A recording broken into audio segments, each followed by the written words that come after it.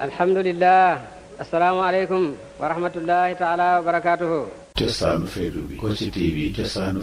Nous venons de rencontrer le calife, Cheikh Mohamedoul Maï, pour lui présenter la version finale du livre du docteur Mbaye Diouf intitulé La fin des illusions et merveilles de la faïda Tijaniya.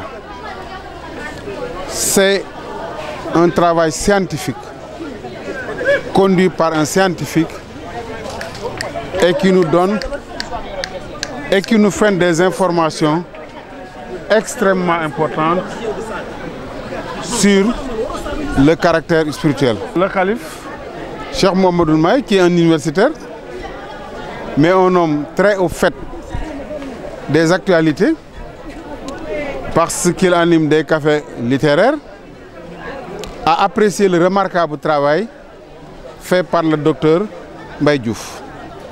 C'est lui-même qui a fait la préface en y développant des idées qui peuvent servir d'école. Donc, euh, nous saluons sa disponibilité, mais également sa compétence et sa propension à toujours bien faire. D'ailleurs, récemment, il a lancé un appel aux intellectuels d'expression française en leur faisant savoir que l'islam ne doit pas être seulement l'affaire des arabisants. Euh, la cité, le Hadara regorge de compétences avérées dans tous les domaines.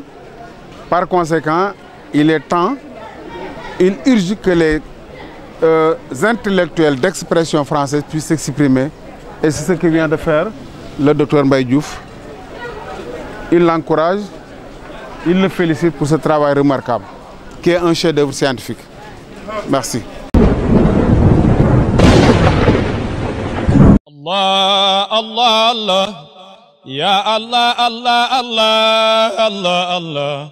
Ya Allah, Allah, Allah, Allah, Allah. Sous l'égide de Cheikh Mohamed Mahi Niass, Khalif général de la Faïda Tijaniya, qu'Allah l'assiste dans sa mission, en collaboration avec les éditions Sirius, Dr Meidiouf vous présente la sortie officielle de l'essai Fin des illusions et merveilles de la Faïda Tijaniya.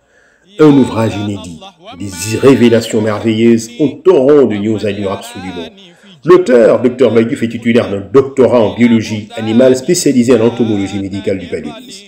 Au-delà de ses activités professionnelles, le Dr Diouf mène d'autres recherches en religion et spiritualité dont l'un des résultats est la publication de cet essai.